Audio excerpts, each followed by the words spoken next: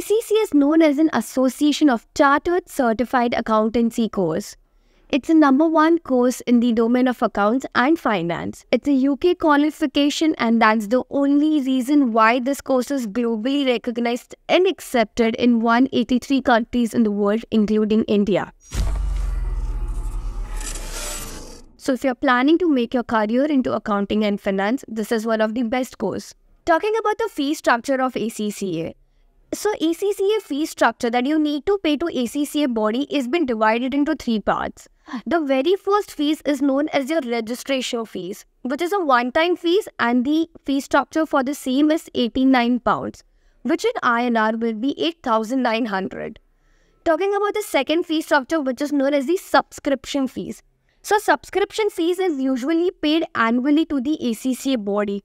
Per year, you have to pay 122 pounds. 122 pounds in INR will be 12,200.